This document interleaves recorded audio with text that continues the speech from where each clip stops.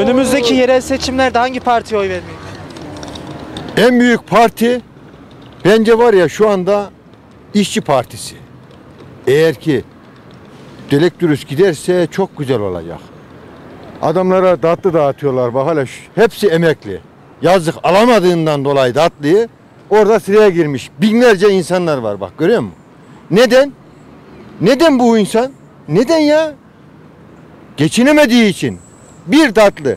Halka tatlısı ya. Küçük bir tatlıya muhtaç ya. Yazık günah değil mi ya?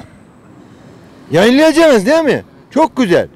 Demek ki bu millet şu kadar küçücük tatlıya muhtaç bu insanlar. Değil mi? Cebinde parası olsun var ya o kuyruğa girmezler. Heh.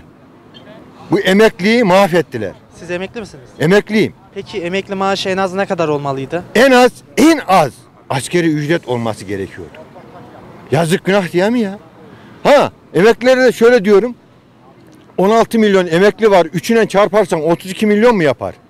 32 milyon bir devi devirecek. Bir devi devirecek kapasitede. Doğru mu? Ha ona göre oy versinler. Teşekkür ederim. Teşekkürler. Sakarya Meydan Muharebesi nerede olmuştur? Sakarya'da oldu da iyi iyi soru. Neredeydi ya? Tarih bilgimi karıştırayım. Afyon'daydı herhalde değil mi? Yoksa saçmalıyorum mu? Ee, Peki Osmanlı'nın son padişahı kimdir? Abdülhamit. Peki bize sonu dayımla biten üç kelime söyler misin? Dayım mı? Benim dayım. Senin dayın. Onun dayısı. Peki dayınızın tek kız kardeşinin eş- eşi neyiniz olur? Annem. Yengem olur. Teşekkürler. Bize güncel 5 Türk devleti sayar mısın? 5 Türk TL mi? Nasıl 5 Türk TL? 5 Türk devleti. Güncel. Ben anlamam. 1, 2, 3, 4, 5. 5 ne Türk TL'sin? Başka ne nasıl olacak? Söyle Peki Sakarya Meydan Muharebesi nerede olmuştur? Ben ne bileyim ben nerede olduysa ya aman. Onlara ne soruyorum bana? Ben onları anlamam. Bana çiftçilik soracak. He, bana çiftçilik soracaksın. Ondan sonra da maaşlar nasıl diye onu soracaksın. Emekli misiniz? Emekliyim tabii. Şu an açıklanan yeni emekli tutar hakkında na- ne düşünüyorsunuz? Ne Memnun musunuz? düşüneceğim? Millet açlığından ölüyor. Bak 22 senedir ben bu adama oy verdim. Mavi perişan etti beni. Pişman mısınız oy verdiğiniz için? Pişmanım tabii. Peki önümüzdeki yerel seçimlerde hangi partiye oy vermeyi Vallahi bir PKK'da olsa fark etmez benim için. Çünkü herkes cebini düşünüyor. Herkes cebini düşünüyor. Siz Ben kimi PKK düşünüyorsunuz? Ben PKK'lı ne idealim.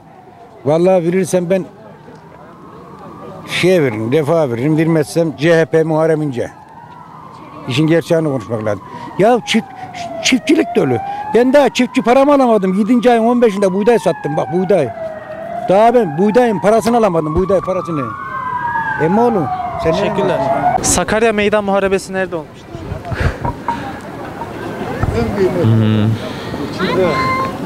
Kayseri mi? Peki bize güncel 5 tane Türk devleti sayar mısın? Türk devleti. Türkiye, Kırgızistan, Türkmenistan, e, Özbekistan, Tacikistan. Peki ma- türkülere konu olan Maden Dağı nerededir? Onu bilmiyorum. Sümela Manastırı nerededir? Trabzon. Peki dayınızın tek kız kardeşinin eşi neyiniz olur? Dayımın tek kız kardeşi. Gelini mi? Teşekkürler. Türkülere konu olan Maden Dağı nerededir? Türkilere konu olan Maden Dağı. Bilmiyorum.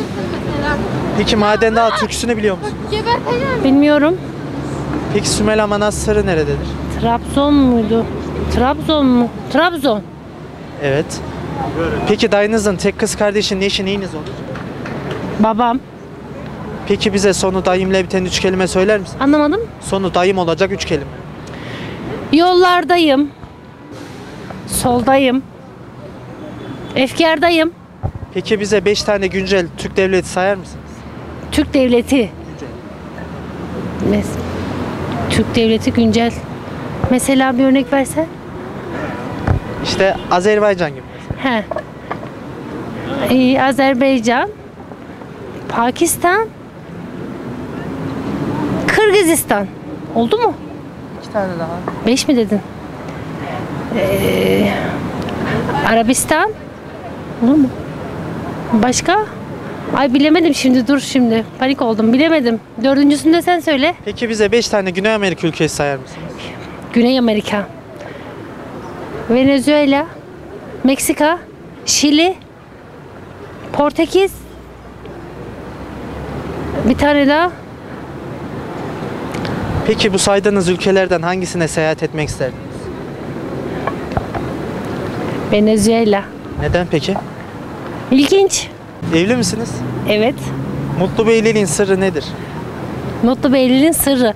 Mutlu bir evliliğin sırrı üç tane bir şeydir bence. Ben bunu kızıma da söylüyorum. Birincisi saygı. ikincisi iletişim. Üçüncüsü anlayış. Bunların üçü de yok bende. O yüzden mutlu bir evliliğim yok. Okey. Peki yeni evlenecek gençlere ne, ne tavsiye verirsin? Vallahi şimdi herkes yaşayarak görecek.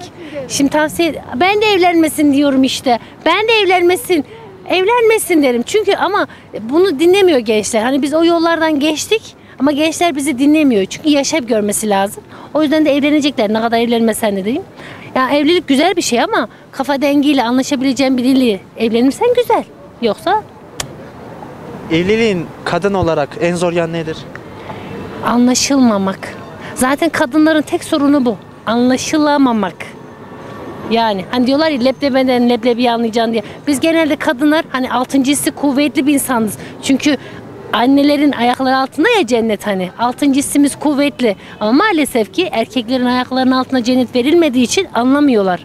Biz leblebeden leblebi anlıyoruz. Neye sinirleniyor, neye kızıyor, neye kıskanır bunları biliyoruz. Ama siz biz bil- biliyoruz da işte öyle. Teşekkürler. Ay ederim. Türkülere konu olan maden dağı nerededir? Maden Dağı mı? Evet. Onu bilmiyorum valla. Unuttum ya. Maden Dağı dumandır diye bir Türkiye var da. Peki o türküyü söyler misiniz bize?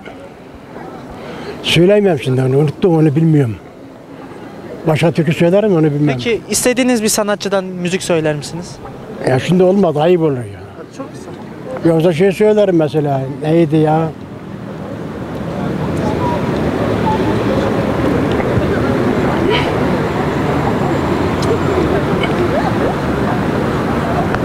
Ya olmaz bu da ayıp olur. Evde olsak söylerim. Çok kısa ya. Şeyde olsa söylerim ya. Yok be bu da olmaz ya. Yok onu onu bilmiyorum da.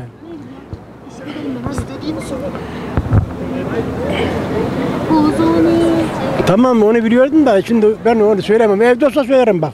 Çok kısa ya. Evli misiniz? Eşim vefat etti. Allah rahmet eylesin. Sağ ol. Peki mutlu bir evliliğin sırrı nedir size göre? Saygı sevdi ilk başta saygı. Peki yeni evlenecek gençlere ne tavsiye verirsiniz? Eşlerinin sözünü tutmalarını, saygı duymalarını. En büyük, en başta saygı. Mutluluğun sırrı saygı yani bence. Peki bir evlilikte kadın olmanın en zor yanı nedir size göre? Her şeyi idare etmesi ev konusunda. Teşekkür ederiz. Yani